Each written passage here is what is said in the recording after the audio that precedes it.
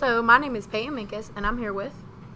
Alaijah Majors, And today we're going to be talking about social media specifically. cyberbullying. So, Lasia, do you think that um, cyberbullying stops whenever you block or remove said person that is cyberbullying you?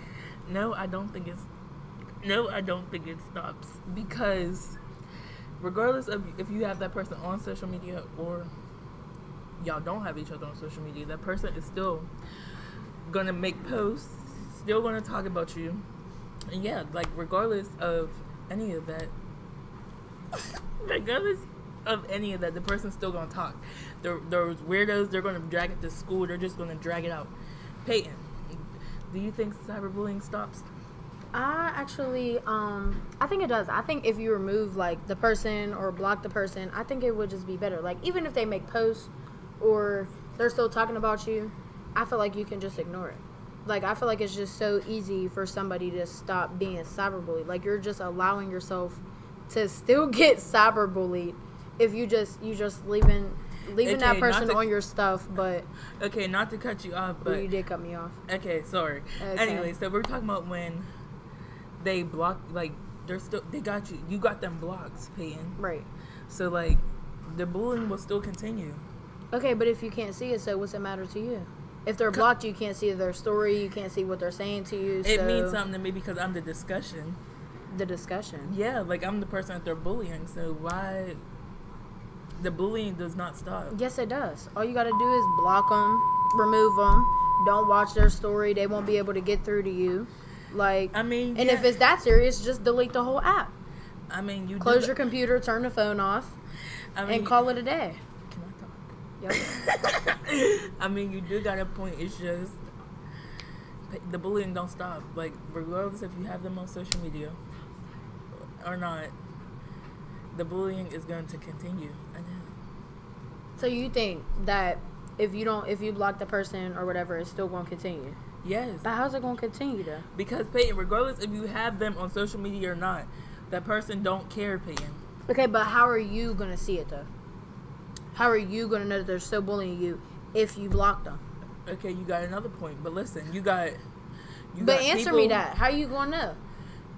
You're not going to know Right. So what does unless it matter? somebody tells you. All right, And and if sure somebody, will tells tell you, okay, and if somebody tells you, then you t- you take it and you go along with it. Oh well, they're still talking about you and they're just mad for no reason. No, and then that's going to make me mad because why why are you still discussing me and we don't got each other on social media?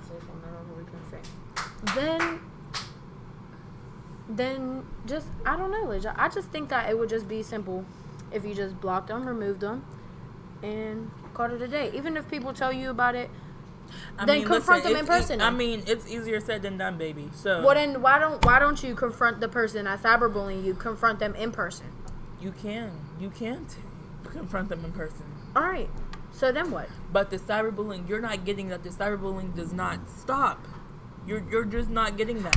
Pay, well then, it don't matter. well then, listen. If um they're cyberbullying you, you could go say something to your principal, your teachers.